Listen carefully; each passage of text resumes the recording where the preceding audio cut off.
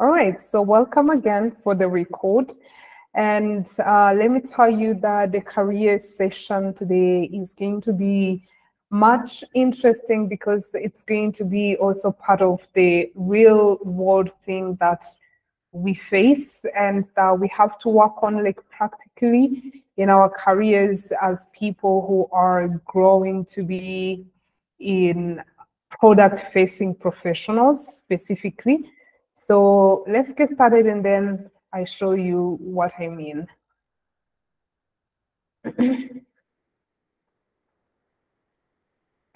All right, so the topic is on design thinking in a workplace. Design thinking, like design thinking. Actually, before we get started, who can tell us uh, what they think about this statement, design thinking?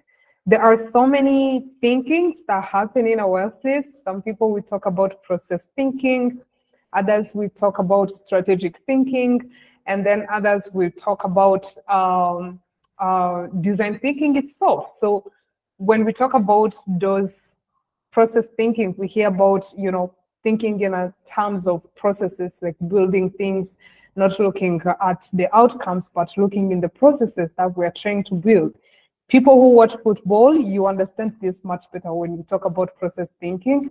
Is thinking about how you're going to be winning winning the next match instead of looking at how you will get to the outcomes when you do not even know which team you will be playing with at the finals. So yeah, that's process thinking. And then strategic thinking is much more understandable, like thinking strategically, especially in managerial or executive positions. Those are the, the people who think strategically for us as the employees of the companies. So what do you hear when we talk about then design thinking? Anyone who can tell us? All right, Ahmed. Hello. Uh, I'm hearing this term a lot, uh, but I'm not sure of its meaning. I think uh, it's uh, designs the way you think. So you can uh, thinking better uh, or thinking out of the box out of the box uh, i think it's about two things. Okay that's good. That's a good answer as well. So let's get started and then hear more. And um, you know ahmed you will be getting an essence of what it means and what does it mean to us as uh, Gen AI people, as data engineers, and also as uh, machine learning engineers? So getting started, first of all, in all technologies, I want also to understand like a quick question that will help us understand it better, like uh, referring it to our daily life. Think of all technologies you use on a daily basis. What is one innovation or a new feature uh, that was created recently and that is helping you big time. New feature brought, uh, I have a, a typo, okay, created recently that is helping you big time. Anyone to tell us? I really want to understand we use different platforms. I will give you an example. Have you realized that WhatsApp has separated all messages with the unread messages and also with um, the groups? You know, because I thought to myself that probably they were thinking about the fact that sometimes uh, you get to have unread messages and you leave them just because you probably didn't even see them coming. You didn't even see them when they were popping on your screen and you were busy doing your assignment. And you'd end up having a lot of unread messages. And also they separated them with groups because probably majority of the times we do not like to check so many groups that we belong in. And as WhatsApp, they gain more money or they gain uh, their profits comes from how often we stay on their platform how often we use WhatsApp. So they created those new features. They are easy. They're at the top of your screen. If you haven't realized, you can check now. And they are new. They are like a week old. And probably they put them there so that we can have the um, we can be remembering to check our unread messages and groups. So like that's like a very small uh, example. So in your case as well, can someone tell me some of the technologies you use on a daily, a daily basis that you saw changing some of their features and it's helping you? Anyone?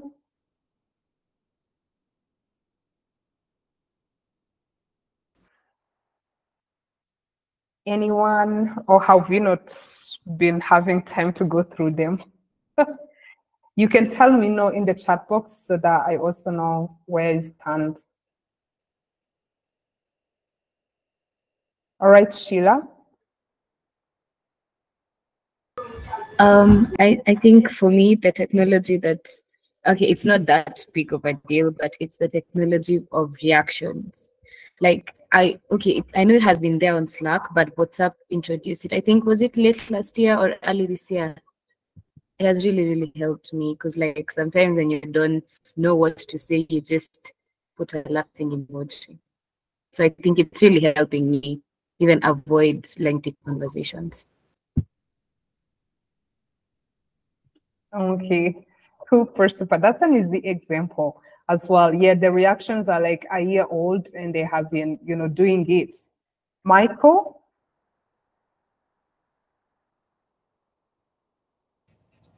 Okay, there is uh, an AI called Harpa AI to summarize the YouTube videos. So because if there is a, the video is long, like 30 minutes, it can summarize it. So uh, I, I will keep my time. So that helped me a lot. Okay, that's super. Thank you so much.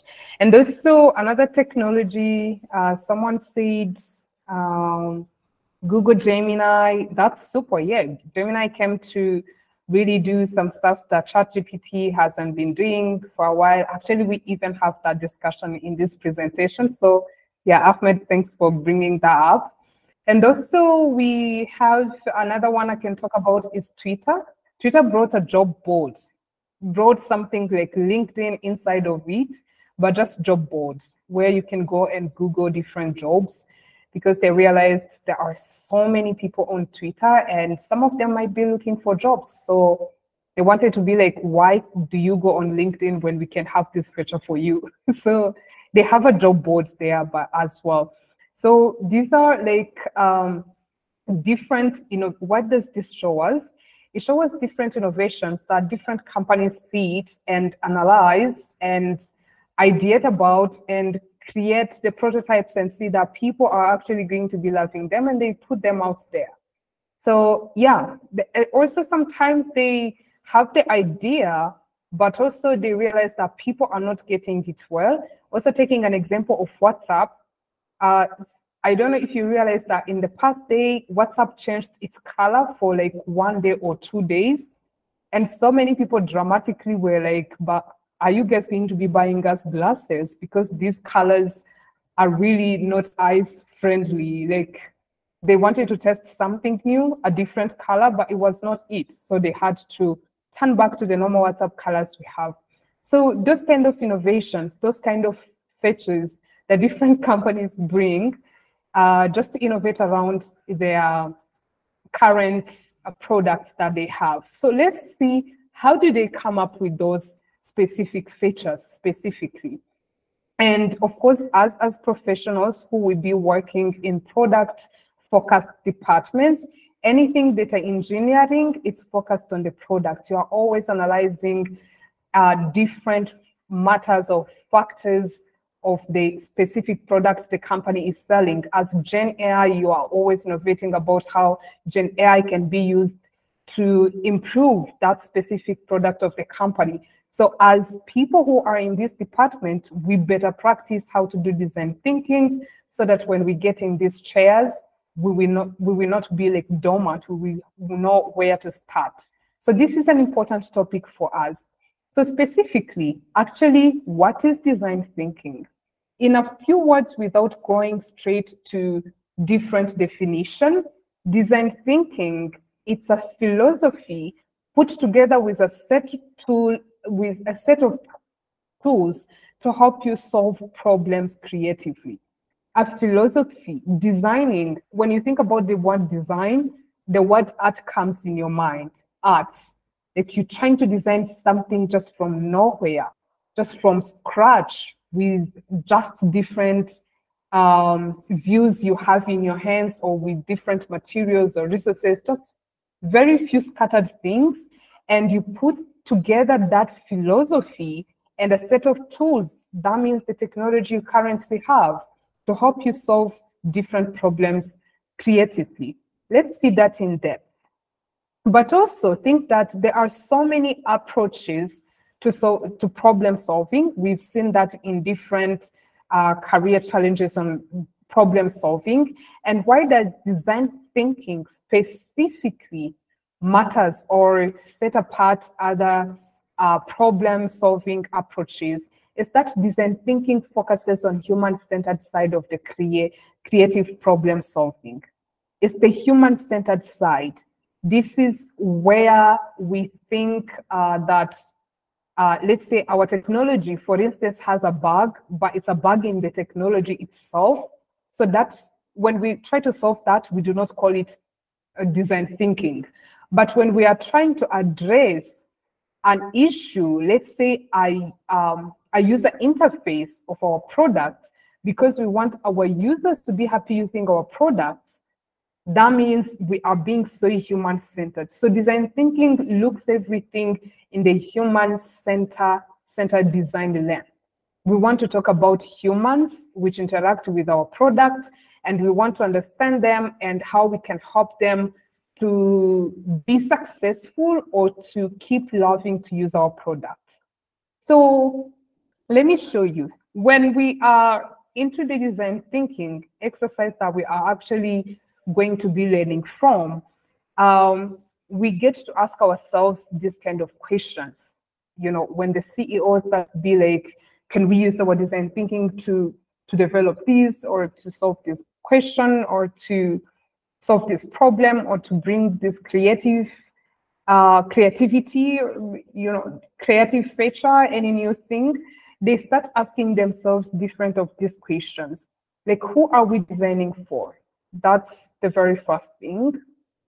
You know, because there are so many humans involved on a product, and those humans can be actually your customers, they can be your internal team, for instance, uh, is the another department that actually needs you to work on your platform, the company's platform, so that it can be easier for them to use as they help the, the, the, the clients. For instance, the customer service team, majority of the times they work with the tech people to tell them like, actually you can help us simplify this work or simplify the onboarding tasks so that we can be able to onboard our clients seamlessly. So there are so many humans involved when we think about what uh, we want to use design thinking for. So defining who are you uh, designing for. Number two, what problems are they having? That's self-explanatory. And also what are their needs? And etc. So many other questions. And then you get to innovate based on those needs. So, and uh, there are specific five steps that companies use in that process, which is they emphasize, define, ideate, prototype, and then test. Sometimes after testing, you can do implementation, but specifically, those are the five steps for design thinking. And when we talk about uh, emphasize and define, this is a stage where we are trying to understand the problem, who has the problem, what is the issue and what insights can we actually gain from uh, all the information we get in the emphasize and define stage? And then get to understand what, what actually do we have to do? What the, what problem is there and what action do we have to take? And then in ideate and prototype this is where we try to explore what can work. In ideate we bring so many ideas on the table and then when it comes to prototyping, this is where to try to prototype some of the ideas that we have and see what can work. And then we have testing and implementing in the materialized category where we put it outside for different people to test. And then we can get ahead, a go ahead that we can actually start to implement these. So let's see. We are going to be taking a 10 Academy job search phase, uh, um, job search phase month as an example for this process. So I'm going to be explaining like each step by step and give you an example of how at 10 Academy we are actually doing this currently. So let me give you a bit background about the 10 Academy job search phase. So this is the phase that happens after three months of the training. We get to have this phase of three months where we go into the job application phase. Like we are actually intensively applying. You see how you, are currently intensively learning in the job search phase, we intensively apply on different opportunities out here because the main goal of everyone graduating at an academy is that you graduate with a job. That's our very main big goal as a team here. So when we are ensuring that there are so many things we have been discovering and we are going to be talking about them as I go through step by step, like what problems did we face how are we trying to build on them do, using design thinking? The number one, it is emphasize step again. This is where you understand the people you are trying to design for. You ask yourself these questions. What is the raised problem? Who raised the problem? What do these people do? And what do they need? And a lot of other questions. When you are emphasizing, you this comes from you. You had someone raising an, uh, a, a problem. Like, to be honest, I am feeling like I'm stuck he, here or I'm not accomplishing my work because this blocker, because of this specific blocker. So you try to understand what is that raised problem specifically, and also who raised the problem. And also, what did these people do? Like, what were they trying to do when they faced the problem? And also, what do they need specifically? So what you do, majority of the times, it's not just to understand the problem and go work on it quickly. No, it's better to release the surveys for you to back your problem scope with data because you want to understand it in depth. You release survey, you can conduct few interviews, uh, like one-on-one -on -one conversation with the people who are having the questions or the problems for you to understand what is the exactly the problem. And then uh, like in general emphasizing it's about emphasizing with people you are designing for.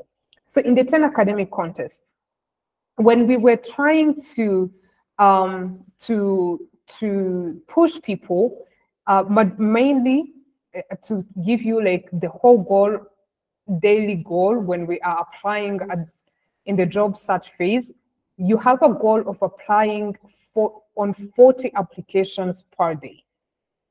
40 applications per day. Like imagine that in your mind. It's crazy submitting 40 applications per day. So in the SGS month, like for the cohort A, the trainees told us that submitting customized CV and customized cover letter that we request them to do takes them much of their time. That's a problem. You know, we had like very few people just met reach, reaching to the 40 applications target on a daily basis. And the main problem that majority of them presented was that, you know, you advise us to submit a customized CV. When I talk about customized CV or customized cover letter, it's the way you take your job description of a company and try to embed their keywords, uh, their keywords, their the language they used in the job description in your CV and in your cover letter. That means if you are applying on 40 applications, then you will have 40 different CVs, 40 different cover letters. So how do you feel? That's super a lot. That's super a lot. So everyone claimed that providing or submitting the customized CV and cover letters, it's super a lot. You know, they can't qualify for the 40 jobs application per day. So how did we proceed? We proceeded on defining. Defining is taking all the learnings from step one. Oh, by the way, before I leave here, So after hearing it from so many different trainees, what we did was try to test the problem by ourselves. So we called out two trainees who we knew were, were really active in the job search phase. And we were like, actually, we want to spend a day with you. So on that specific day, my task, me as Pascaline, was to spend a day with one of the trainee and to understand how he is actually applying. So I went ahead, he told me what I can help with. I just spent a day with him. And to be honest, it it took us a lot of it took us like uh, almost 10 hours to submit 40 quality applications so we tried to test the problem and of course you can imagine we were just two people so it was a lot it was a lot so that is the problem we heard about the problem uh, we understood the trainees and then we tested the problem by ourselves and then moving forward so what's next in the design thinking process, you have to go ahead and then define. Define because you have like scattered information. And now what you have to do is to take all learnings from step one and break them down into meaningful insights. Be able to straightly answer these questions. Like this is the common problem. You are able to see that this is the problem you know so applying on 40 jobs applications per day it's not the problem the problem is submitting quality applications you know because they can use easy apply and they can be able to drop 80 applications per month per day but you know understanding those information and try to define what is the main problem what is the specific problem the specific problem here is not 40 applications is the quality, being able to submit the quality of application. And what is the main challenge? The fact that they cannot customize their CV and cover letters in a timely manner using like um, in a short in a short time. That is the main challenge. And then this is you are also able to answer what observation you were able to make from you testing yourself and also from uh, the views you had from the people who raised the issue. And then next, you are able to identify that these are the specific needs they request. You are able to understand that uh, what they request is something that can actually help them be able to customize their CV without taking too much time. So that thing I'm talking about, it's a software or a feature in the TenX platform that can be able to easily customize everything. And of course, you cannot use ChatGPT or Gemini because they will give you things that are really, really, um, you know, out of line. Like, of course, that we do as AI does, as a general AI feature does. So you try to understand the specific needs. They needed some uh, something that helped them customize their CV or cover letter easily. And then what's after answering this question, what you do is take all the step one outcomes and turn them into insights. So the insights we have here, like here, they are just the fact that we know the common problem, we know the challenge, we, we have our own observation, and also we know what they need. And etc. You can ask yourself so many questions in, in just, you know, according to the nature of your product or your company's product. And then moving forward, so what you do when you have all information you need, you start to ideate. You come up with different thoughts and ideas that matches the insights gotten from step one and step two. What you do is sit with your team and you brainstorm, you come up with different ideas, you discuss potential solution, and you select the final solution. Because you can have so many ideas that are doable but of course at at last you have to choose a few solutions that you feel sorry that you feel like you can go ahead uh, and move them to another step of the ideation which is prototyping. We are going to see it. So what you do is sit with your team and brainstorm. Challenge all ideas like question each idea until you find a few that are feasible. And how did we, in the 10 Academy context, we looked at like the job the job search phase is a critical part of our training because we do not want anyone to leave the training without a job. It's a critical part. So this is something for us to really work on as a team. We have to find uh, a big solution because we cannot advise them to go and hit easy apply on LinkedIn. That will not make them stand out because there are so many people who are in the job market today because of the tech layoffs that has been happening around so many companies in the world. So we cannot advise them to submit anything that is not quality. So what we do, we discuss different ideas and majority of those ideas, two of them stand out. Either we pay for a subscription on software companies like Scuba, there is that company that help you uh, customize your CV and your cover letter in just one minute. You know, so that's what that company is specialized in. That's what they do specifically. Or another idea is that we do what those companies did and we put it in our TenX platform. Like we put there a feature that is 100% able to customize your CV and to customize your quality without comprehending the initial um, without compromising the true history of your CV. Because majority of the AIs that we give you a completely different CV, and when you submit it, you feel like it's not you. So what we did was to go ahead and bring the idea of the fact that we can have that feature in our TenX platform. So, okay, Daisy, do you want to say something before I proceed?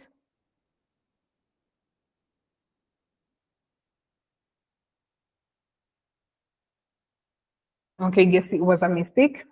All right, so um, that is it. That's where I was. Like we started ideating, we have two options, either Scuba or developing the software by ourselves, like the feature by ourselves. And when we put together those uh, ideas together, we saw that creating that feature by ourselves from scratch in a way that it works 100% efficiently is going to be super hard going to require a lot of work and a lot of time and you know a lot of things.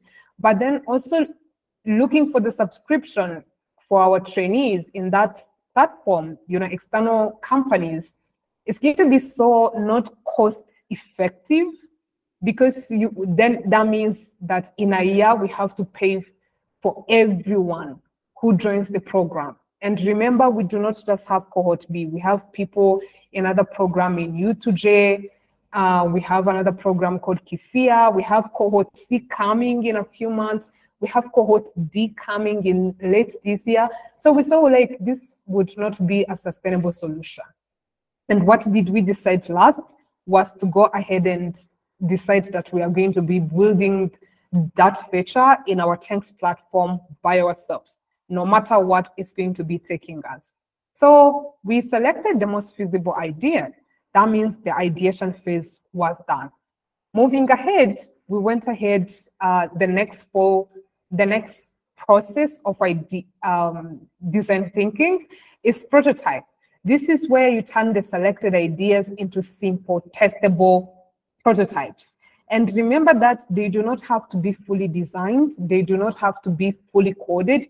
It's simply have to be like a fake product just for text testing. So simply what we did here also was to create something that users can test for us. And what we did we do? We created a prototype. The TenX team created a prototype. And then uh, we had a few trainees jumping in and testing uh, in regards to how we explain that it's going to be working and how they see it. And of course, when you bring it one big thing you have to include you have to prototype with the people who raise the issue. Not with the technical tutors not with the career tutors because they can have imagination and everything. No you go ahead and bring the people who claimed those are the trainees. And then they help you test and tell you that this is actually what they are looking for or they give you different feedbacks like you can improve on this it can work like this this is how it can help us and feel satisfied 100% so yeah when you are done with prototyping you go ahead into testing. Oh sorry yeah prototyping is just developing and then when you go into testing this is where you bring the prototype and test with real people. They help you with testing everything. So what you do select people based on the personas defined in step one you remember the people who claimed then get real-time feedback from them real-time feedback like they they they do ev everything they click they tell you like yes this is where i want to i want it to go uh, everywhere they see, uh, I mean, any new page that occur when they click something, they tell you we like this or we do not like this. Like they give you real-time feedback. And then next, you get your test results and moving forward, you put together the new insight you learned from the results and again, go through the whole five processes again. Because even us, after prototyping and testing with the trainees, we got so many different other insights they shared something we did not see when we were prototyping, we did not consider at all.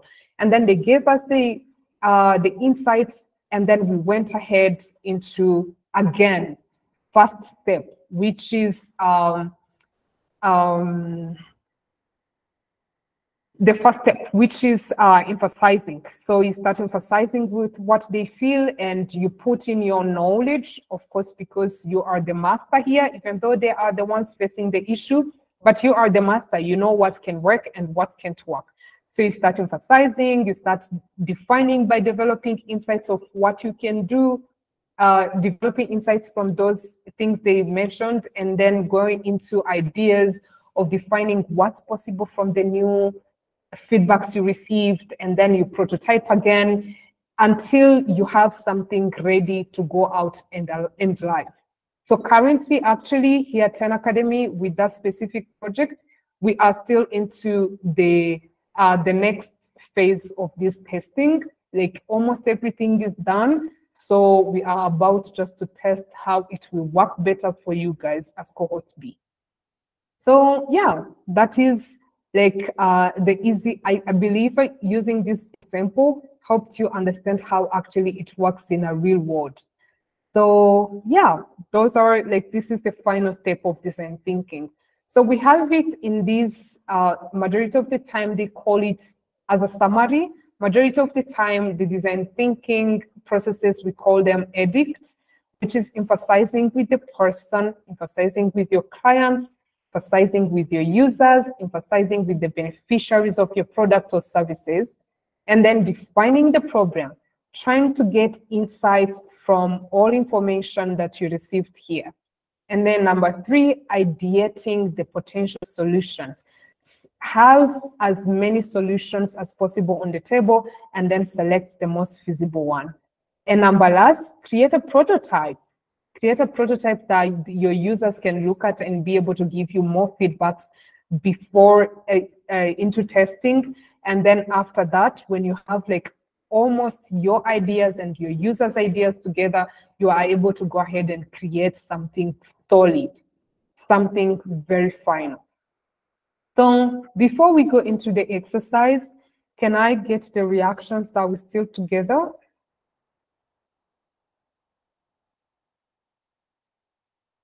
Okay, thank you so much. Okay, all right, let me go into a simple exercise. We will not go in, into deep in, in because we have a whole challenge designed for it, but let's try to understand. So we use ChatGPT as tech people to debug different things, to test different things. Like we use ChatGPT in our general life, in our daily life. And we some of the people also use Gemini. So I want to understand, on your perspective, which one is your favorite between the two? Why and what improvements would you like the other to implement to satisfy your needs? I will give you the essence of the example. ChatGPT and Gemini are competitors, so they kind of offer the same product. And design thinking always will help you know how you can stand out to your competitors. from your competitors. Like if ChatGPT have this and Gemini doesn't, then the people at ChatGPT are always, always working day and night to know how they can plan and do something that is much more valuable than what Gemini has. Like it's a competition game. And the competition game, always you have to use this design thinking, designing to what your users want more that your competitors have or that they do not have. Like, you know, it's always in that game. And actually, when you get to also be employed in your specific roles, these are the kind of conversation that your CEOs are going to always be asking you. So let's use this example. By looking at ChatGPT and Gemini, which one is your favorite and why? And what improvements would you like the other to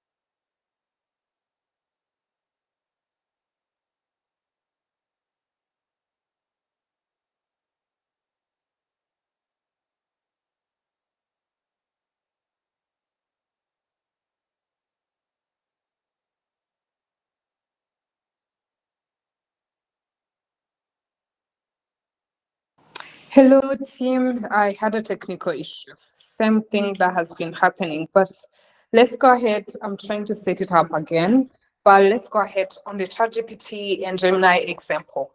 Can anyone tell us? You can raise your hand or open your mic. It's okay.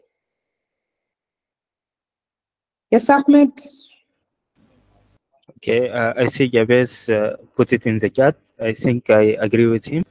Uh, GPT uh, it's better in code stuff, but uh, when you need to chat for specific information or refresh something, I think uh, Gemini is better in this uh, part.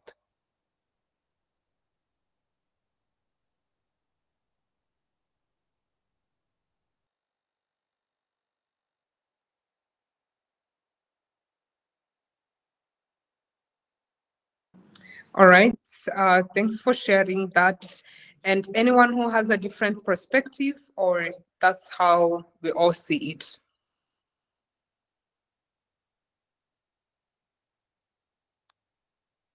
All right, Michael.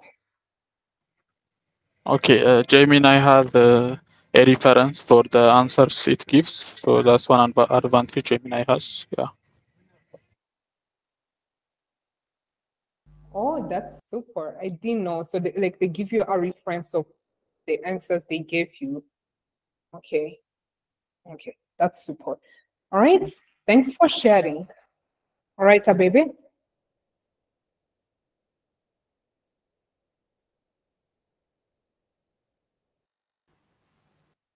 Yes, Hilary. Oh, I'm sorry. I was talking. Uh, okay. Okay. Continue. Go ahead. Uh, I was I was talking without uh, opening my mic. That was a problem. I'm sorry. Uh, no. I go for Gemini. Can you hear me? Yes, we can. Uh, I go for Gemini. Uh, the design is uh, simpler than GPT, ChatGPT. As my friend Michael says, it's it lists references that used for our uh, for the suggested solutions. So I go for the Gemini. Okay, all right. Thanks for sharing, uh, Hilary. Okay, um, um, so I, I, um, favorite is GPT for now, it's faster. If if you just type any question, it's produced in less than a second. And but Gemini is is too slow. It may take up to uh, several seconds up to ten for you for you to give your answer, and the answer it and after it gives you the answer, it may even say, "I I don't understand what you're saying. Yeah. So yeah. So what I want uh, uh, Gemini to implement is like uh, to be fast in responses. Okay, it's fast in responses. Okay, that's great. That's a good observation, and we are going to use the same uh, observations in the challenge. And really, I would really like it if uh, we take this exercise as just uh, like a personal career exercise of something that you might face. So let's see other scenario. In 2017, when Zoom, a, a popular video conferencing platform, began to be famous, Google immediately released the same video conferencing platform and named it Google. Actually, Google is really known at this game. You know, someone releases something big and they release competition. You know how ChatGPT came out and then Google Bard was out. So yeah. So from then, Zoom started to face a very stiff com competition from Google Meet because Google Meet still includes similar feature, yes, similar feature as a package for their Google Suite. What do we mean by Google Suite? Google Suite is this one. It's this combination. I hope you can see it. Yeah, these things here. Can you see it? Let me see. Okay, it's disappearing, but I believe you can see it. Uh, this, these are the Google Suites. So it's uh, like uh, um, their main storage for all Google applications you can use uh, when you hold, when you have a Google account, a Gmail account. So for companies that were buying Google Suite, because you know, for the company to get this .10academy.org uh, sorry, they at 10academy.org, at google.org, at uh, which company, at duldio.com. Like those, for you to get that at with your company name, you have to pay for it on a monthly basis. So Google was like, you know, when they saw Zoom being famous after be, being in business for six years, I guess, Zoom was created in 2011, I guess. So in 2017, when it started to be famous, when remote work was starting to be a thing, Google Suite created, uh, I mean, Google created a Google Meet and added it in their Google Suite package. That means for any company that paid for the Google Suite package, they are able to use Google Meet for free. And since that time, many Zoom customers have switched to Google Meet due to the cost advantage. Because everyone was asking themselves, like, why do I have to pay Zoom when I can have the same video conferencing on Google Meet? And that's actually a good question to ask. Why would you pay extra money when you can get the same service without paying extra money? So yeah, this is the scenario we have. So you are going to assume that you are a Gen, AI engineer at Zoom let's keep it in the loop of just in the scope of Gen AI responsibilities at Zoom. And your task is to leverage your knowledge in artificial intelligence, machine learning, and any knowledge you have in data engineering to develop strategies for Zoom to regain market share and attract customers back to its platform while maintaining its current pricing structure. And actually, Zoom have done this. They have done this. And I want us to practice the same exercise and bring up new ideas, not what they have created, but new ideas, which we are going to be talking about here in the question. So you are, the question number one, you are supposed to go on zoom.com and learn about their free create an account to have full visibility of everything because when you create a free account you are able to see things you are not allowed to do because you do not have a premium account. And all those other information about free and premium features, they are also displayed everywhere on Google. You know, everywhere on their website, everywhere on YouTube. Like you can have more information about this with any research you can make. And then you are also going to be searching Zoom reviews on their both free and premium features. Search anywhere you can find the reviews, see what people talk about Zoom in general or what they talk about their different packages or different features they have. Then based on your findings, like really do your really good research. And based on your findings, identify and explain in details the five key pain points and frustrations users experience with Zoom. Five key pain points and frustrations users experience with Zoom. Because actually, how did how does a company trying to regain its market share is looking at, at the pain points and try to develop solutions. Pain points can be pricings, but those are not your responsibility as a Gen AI engineer. Some of the pain points can be different other features that do not work in a way that satisfies the users. It can be anything, anything technical. And those are the five things we want you to go and look up to. And of course, do your really good research. Do your really good research. Do not bring things that are already there.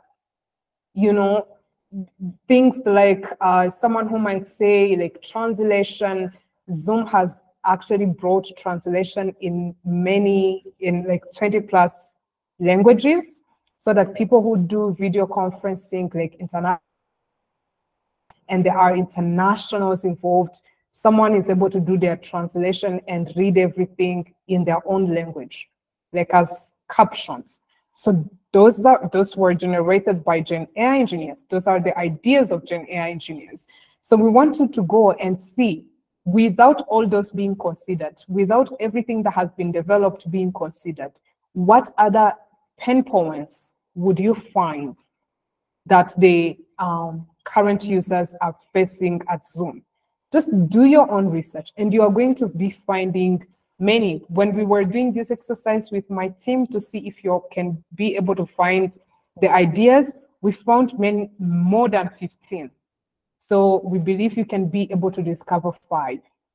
Just because of time, we had to keep it at five. Just look at five, and they should be new. Again, so notes, please explain, when you're explaining these pain points in full detail, like explain it in a way that you could explain while presenting them to your manager. They give us a full picture of them and you are allowed to use any technical terms. Give us a full picture. Do not say, oh, just translation is a pain point, you know, just that. No, explain it like you could explain it to your manager, convincing your manager that you should have that feature. That, uh, sorry, convincing your manager that this is a pain point. So, yep, anything, any idea. And then moving forward, by looking at these five pain points, identify and explain in detail their respective five solutions that can be implemented with the use of AI. The sole main purpose of your solution should be to enhance user experience and providing a competitive edge from Google Meet. So what you do here is to look at these fine pain points, develop your solutions that can be used as um, created using AI and that can actually be a competitive edge to Google Meet. This means you have to also go look at, at Google Meet, see if they do not have something similar like that. And then note, please explain in detail how your suggested solutions will work and make sure your manager will be able to see a big value and creativity from your suggested solutions. Again, please explain in details how your suggested solutions will work and make sure your manager will be able to see a big value and creativity from your suggested solutions. And number, number three, based on your proposed solutions on the second question, look at the feasibility and potential impacts of each proposed solution and select only three solutions you would confidently consider as promising solution. Tell us why you selected those three among the five proposed. And of course, base your selection to the potential to address the user pain points. This is our sole purpose. And also to differentiate Zoom from its competitors, which is our second sole purpose. So among these five, you will select these three and then be able to tell us, justify your answers. Why do these three stand out from all the five proposed solutions you have here? So basically, it's like you have two questions and then you have another sub question just to select what can work moving forward. Three only. So keep in mind that this is a real world scenario. So take your time to do this exercise as if you were a Gen AI engineer at Zoom. A Gen AI engineer at Zoom. And then focus by saying this, actually, we have a trainee in cohort A who got a role in a, a company. Sorry, was it in train cohort A? No, it was before cohort A. He got a role from a company randomly from uh, LinkedIn just because he emailed the hiring manager with a solution that he can provide in regards to what they published on LinkedIn that they were working on. So he just went and learned about that project and developed more of the solutions they were looking for and then direct emailed it to the hiring manager. He got the role just in one week because they realized he can understand what they're working for, the pain points they have, and provided the solution he can he can be able to bring on board. He got a role in one week, and he was one of the people who really finished the job search phase, unfortunately, without landing a job. So this is a good exercise. Let's take time and do it as if it was a real-time um, project. Then focus on the solutions that are technically visible and have clear value proposition to the users. Of course, value proposition to the mentioned pain points. And then consider ethical implications of AI implementation and ensure responsible and transparent use of technology. What do I mean by here? Uh, I mean, for instance, there is this new feature. I'm not sure if it's still there on Zoom that Zoom created that it has a third party that enters in your conferences and is able to provide you uh, the summary of the meeting when the meeting is done. I believe also Google Meet has it, like it's able to summarize everything that was talked about in the meeting just in a few minutes, you know, right after the call. So, but then it was considered not ethical. It was a debate, you know, here and there, it was a debate. Many people were saying that, okay, so you are always listening in our meetings because that's not ethical and they are not supposed to. So Zoom had to go and explain how actually they provide those summaries with keeping your company's information encrypted. You know, it, it, was a long conversation. So thinking about this, also look at the ethical implications of AI implementation and ensure responsible and transparent use of technology. Yeah, um, that is it. That is it specifically for the challenge. Any questions? Anything? Or is it clear? Yes, Martin. Uh, I wanted to ask a, a, question. Like here, when you're telling us to find the five key pain points and frustrations of the of the user, uh, and you say you said that uh, we have to get um, um, we have to get ideas that are completely new.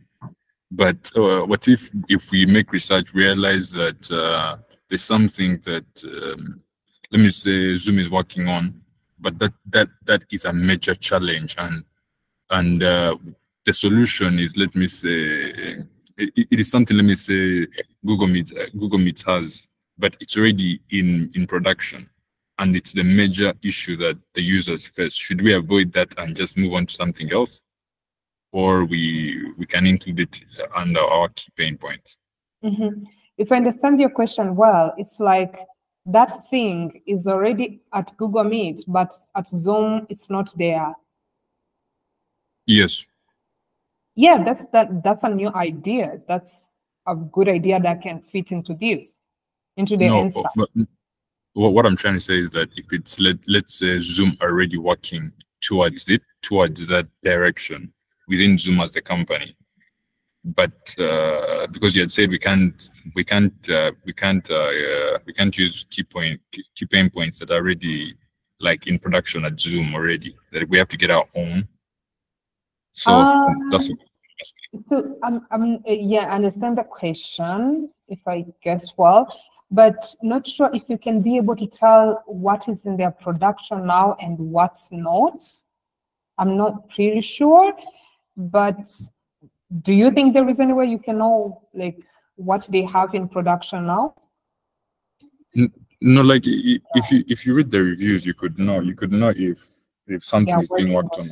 Yeah, so we just work with the information we have because we do not know what they are planning internally. So we just use the information we have. If that thing is not Okay. there, then it's not there.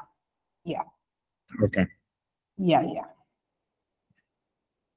Um, yep, that is it for now. Then I think we can call it a meeting and then um, go really practice on this exercise.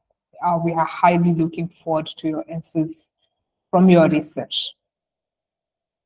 Okay, and also there are no limited slides to this uh, to this assignment.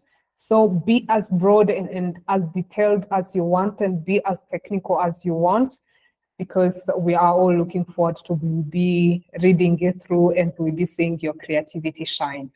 So yeah. Thank you so much, everyone. Have a great evening.